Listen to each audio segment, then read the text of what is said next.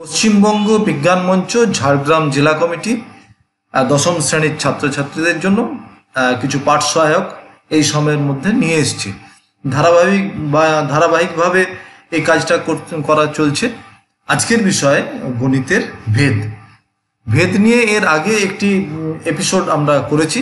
সেখানে করার পরও আমাদের কিছু মনে হয়েছে, কিছু প্রশ্ন এসেছে যে ভেদ নিয়ে একটুখানি কীভাবে প্রয়োগ করব? প্রয়োগের জায়গাটা একটুখানি যদি সাহায্য করা যায়। তো সেইটার উদ্দেশ্য নিয়ে আমাদের আজকের এই পাঠ। আমরা ভেদের যে দুটি বিষয় জেনেছিলাম, যে এক, ভেদ হচ্ছে আসলে কিছুই না, একটি সম্পর্ক মাত্র। কার কার মধ্যে সম্পর্ক? না গণিতে ব্যবহৃত যে সমস্ত চলরাশিময় রয়েছে তাদের মধ্যে সম্পর্ক। সে সম্পর্ক ছিল দু রকমের একটি ছিল সরল ভেদ একটি ছিল ব্যস্ত ভেদ এই দুটি সম্পর্ককে কাজে লাগিয়ে বাকিটা সবটা। এই ধারণাটাকে কাজে লাগিয়ে কীভাবে আমরা তার প্রয়োগ করব, সেটা নিয়ে কিছু প্রশ্ন, কিছু কোয়ারিজ এসছে আমাদের কাছে। আমরা তার একটা সমাধান দেওয়ার চেষ্টা করছি মাত্র। আমরা এখানে কিছু এরকমভাবে ভেবেছি ব্যাপারটা যে কয়েকটি অঙ্ক বা কয়েকটি সমস্যার কথা এখানে তুলে ধরে তাকে এই প্রয়োগ, কীভাবে আমরা এই বিষয়টাকে, এই ধারণাকে আমরা গণিতের মধ্যে প্রবেশ করাবো সেটার একটা ধারণা যদি দিতে পারি। তার আগে এই সম্পর্কগুলো নিয়ে একবারটি ঝালিয়ে নিই। আমরা অঙ্কে ব্যবহৃত যে সমস্ত চলরাশিগুলো থাকে তাদের মধ্যে আমরা এখানে দুটো রাশির মধ্যে সম্পর্ক সবসময় হয়। সম্পর্ক দুটো, তিনটে, তার বেশি হতে পারে। আমরা প্রথম দুটো ধরি, তারপর বাকিটা বলছি। দুটো সম্পর্ক যদি এরকম, দুটো আমাদের চলরাশি যদি এরকম থাকে, আর তাদের মধ্যে যদি সম্পর্ক এরকম হয়, একটি চলরাশি বাড়লে, দ্বিতীয়টি বাড়ে, একটি কমবে, এক কমলে একই হারে, অপরটিও কমে, তাহলে এই ধরনের যে সম্পর্ক, সেটাকে বলা হচ্ছে সরল ভেদ। এবং তার প্রকাশ ভঙ্গিমা ছিল এরকম এক্স ভ্যারি ওয়াই এই চিহ্নটি ভ্যারিয়েশনের চিহ্ন। এবং যেহেতু এটা তখনই সম্ভব, যদি এদের অনুপাতগুলি যেহেতু একটি ধ্রুবক হয়, তাহলে আমি এক্স বাই ওয়াই সমান কে এখানে আমরা সরল আকারে লেখা লেখা হয়েছে এক্স সমান কে ওয়াই যেখানে কে অবশ্যই একটি শূন্য হবে না, এবং একে বলা হয় ভেদ ধ্রুবক। তাহলে এখানে আমরা পুরোটাই জুড়ে দিয়েছি কে এর সাথে। কে সমান হচ্ছে অশূন্য ভেদ ধ্রুবক। এটা ছাড়াও আরও একটি সম্পর্ক আমরা জেনেছি। সেটি হচ্ছে ঠিক এর সাথে একটু একটু অন্যরকম। কীরকম? না এক্স ও ওয়াই এরকম দুটি চলরাশি, তারা পরস্পর যদি ব্যস্তভেদ ব্যস্তভেদ তখনই বলছি কখন না যদি একটি রাশির মান বাড়ার সঙ্গে সঙ্গে অপর একটি মানের রাশির মান কমতে থাকে, অর্থাৎ একটা বাড়লে আর একটা কমে। এরকম হলে এই সম্পর্কটাকে আমরা বলব ব্যস্তভেদ। তার একটা প্রকাশ ভঙ্গিমা রয়েছে এইভাবে তাকে লেখা হয় X varies one by Y এটা লিখে দেওয়ার অর্থই এই এই চিহ্নটা যদি ব্যবহার করা হয়, এটা লিখলে আমরা বুঝতে পারি এক্স এবং ওয়াই পরস্পর ব্যস্ত ভেদে আছে। অর্থাৎ এক্স এবং তার অনন্যকের অনুপাতের ক্ষেত্রে ধ্রু- ধ্রুবক। সেই জন্য এখানে আমরা এই ভ্যারিয়েশন চিহ্নটা যখনই সমানে নিয়ে আসছি, খুব মনে রাখার সুবিধার জন্য আর কিছু না। একটা, একটি আমরা কি বলে, ভেদ ধ্রুবক এখানে গুণ আকারে রয়েছে। এখানে এম সমান অশূন্য ভেদ ধ্রুবক। এখানে আমরা ভেদ ধ্রুবক হিসেবে এম কে ব্যবহার করেছি। তো এখানে দুটো চলরাশির কথা বলা হয়েছে। আমরা যদি তার বেশি হয় এমন তো নয় যে কোনো অঙ্কে বা কোনো সমস্যার ক্ষেত্রে কেবলমাত্র দুটি রাশি থাকবে, তার থেকে বেশি থাকতে পারে। তিনটে, চারটে, পাঁচটা হতে পারে। তো সেক্ষেত্রে আমরা কীভাবে করব? তার জন্যে একটি উপপাদ্য আমাদের জানতে হয়। যৌগিক ভেদ, সেটি একটুখানি জেনে নিতে হবে। যৌগিক ভেদ বা জয়েন্ট ভ্যারিয়েশন একে আমরা কীভাবে বলছি? এখানে তিনটে বা তার বেশি যদি চলরাশি থাকে, তাহলে তার ক্ষেত্রে কি হয়? আমরা এখানে ন্যূনতম তিনটি চলরাশির কথাই ভেবেছি। এক্স ওয়াই এবং জেড এই তিনটি চলরাশি এমনভাবে রয়েছে যে এক্সের সাথে ওয়াইয়ের সম্পর্ক এবং এক্সের সাথে জেডের সম্পর্ক। অর্থাৎ একটি চলরাশি রয়েছে যে যার সাথে অন্যগুলির সম্পর্ক আমরা নির্ণয় করেছি। এবং একটির সাথে আরেকটি যখন সম্পর্ক হচ্ছে, তখন অপর চলরাশিটিকে আমরা ধরছি ধ্রুবক। সেটা যদি স্থির থাকে, তাহলে কি ঘটবে? যদি তার মানে এরকম আমরা পরিষ্কার করে জানাচ্ছি যে এক্স ভ্যারিয়েস ওয়াই যখন জেড ধ্রুবক, এখানে এরকম নয় যে সবগুলো সরল ভেদে থাকতে হবে, ব্যস্ত ভেদেও থাকতে পারে। অর্থাৎ আমাদের দুটোর মধ্যে সম্পর্ক থাকলেই হবে।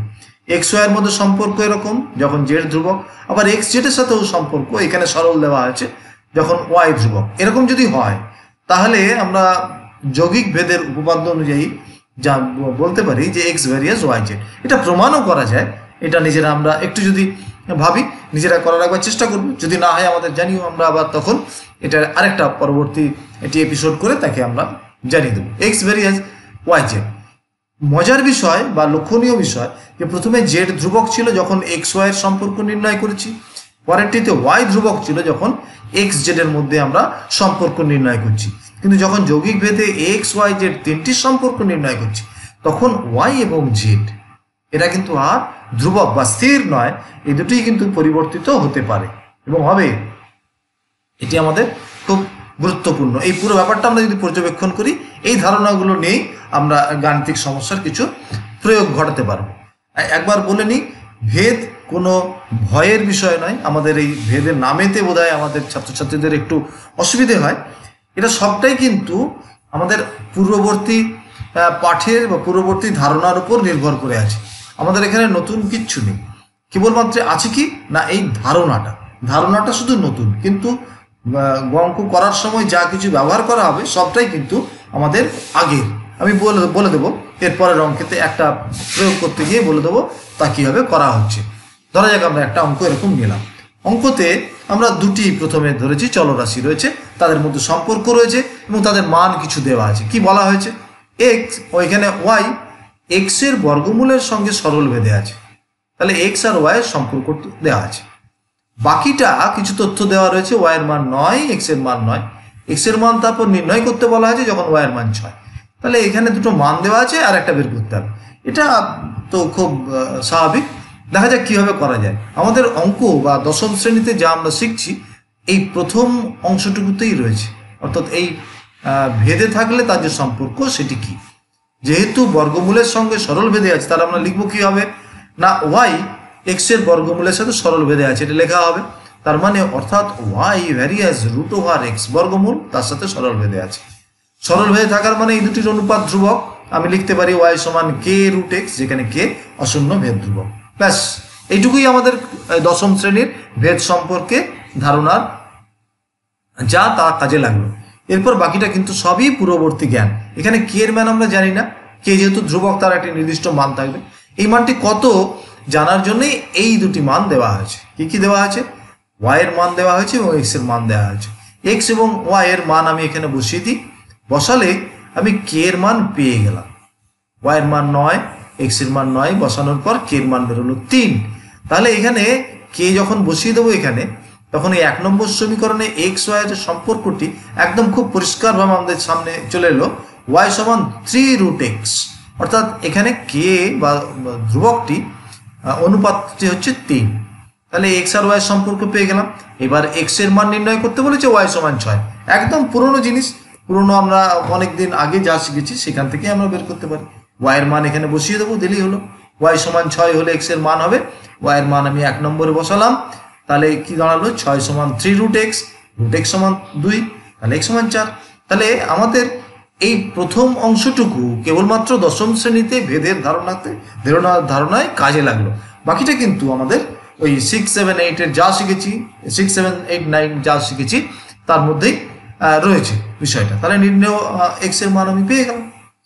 আরেকটি অঙ্ক আমরা এখানে নিয়ে আসছি। এখানে আমরা তিনটে চলরাশির কথা ভাবছি। আগে এটা ছিল দুটো চলরাশি, এখানে তিনটে চলরাশি রয়েছে, দেখা যাক কি করা যায়।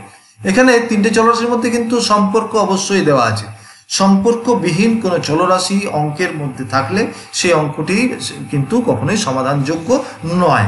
আমরা ওটাও বলে দেবো। এখানে এক্স ওয়াই তারা পরস্পর সরল ভেদে আছে এবং এক্স জেডের সাথে ব্যস্ত ভেদে আছে। তাহলে এই প্রথম লাইনে সমস্ত সম্পর্কটি উল্লেখ করা আছে। এবং তারপরে যা দেওয়া রয়েছে, ওই কে এর মান বের করানোর জন্য, অর্থাৎ অনুপাতটি বের করানোর জন্য এবং তারপরে আরেকটি জানতে চাওয়া আছে কত। এটা পরের অংশ। আমাদের ভেদের অংশটুকু আমরা শুধু প্রথমে দেখে নিই। এক্স ওয়াইয়ের সাথে সরল ভেদে আছে কতটার মানে? এক্স ভেরিয়াস ওয়াই এক্স জেডের সাথে ব্যস্ত ভেদে আছে, এই কথাটার অর্থ x varies one by z যদি এই এক্স যেহেতু ওয়াইয়ের সাথে এবং এক্স জেডের সাথে সম্পর্ক যুক্ত তাহলে আমরা যৌগিক ভেদের উপাদ্য অনুসারে পেয়ে যাব। X varies y by z এটা আমরা এর আগে পেয়েছি। এটাই এখানে প্রয়োগ হলো। এরপরে লাইনটা আসছে, আমরা এই অনুপাতটি লিখে ফেললাম। এক্স ভ্যারিয়াস ছিল ওয়াই বাই জেড তাহলে এক্স সমান কে ওয়াই বাই জেড এখানে কে সমান হচ্ছে অশূন্য ভেদ ধ্রুবক। ব্যাস, এটাই আমাদের ভেদের ধারণার প্রাথমিক কাজ শেষ, এবং ভেদের ধারণাও আমাদের শেষ হয়ে গেল। বাকিটা রইল শুধু আমাদের মান নির্ণয় করা। মান নির্ণয় করার একদম প্রাথমিক যে ধারণা, সেই অঙ্ক থেকেই করতে পারি। ওয়াইয়ের মান দেওয়া রয়েছে জেডের মান দেওয়া রয়েছে, এবং এক্সের মান দেওয়া রয়েছে। তিনটি মান বসিয়ে দিলাম, তাহলে এখানে কে এর মান পেয়ে গেলাম পনেরো বাই চার। তাহলে কে এর মান পেয়ে গেলেই আমি সেখানে এক্স আর ওয়াই সম্পর্ক পেয়ে গেলাম এক্স ওয়াই জেড এই তিনটে সম্পর্ক এখানে পেয়ে গেলাম এক্স সমান পনেরো বাই বাই ফোর জেড বাকিটা একদম আরও আগের জিনিস, এর আগে আমরা করেছি এক্স সমান মান বের করতে হবে, যখন ওয়াই এর মান ষোলো এবং জেড এর মান তিরিশ। মান বসিয়ে দিলাম এক্সের মান বেরিয়ে গেল দুই। তাহলে নির্ণয় এক্সের মান দুই। পুরো অঙ্কটা যদি আমরা একবার পর্যবেক্ষণ করি, দিলেই আমরা এই প্রয়োগের পদ্ধতি আমরা খুব সহজভাবে বের করতে পারব। এটা গেল তিনটে চলরাশির মধ্যে সম্পর্ক। আমরা আরেকটি অঙ্কের কথা ভাবি। এরকম এক একটা রাশিমালা দেওয়া থাকে, দেখলে খানিকটা ভয় লাগে আমাদের। কিছুই না। এটাও খুব সহজে। খালি এখানে এক্সপ্রেশনটা যদি আমি একটু পড়ি, যে দুটি চলরাশির যোগফল, দুটি চলরাশির বিয়োগ ফলের সাথে সরল ভেদে আছে।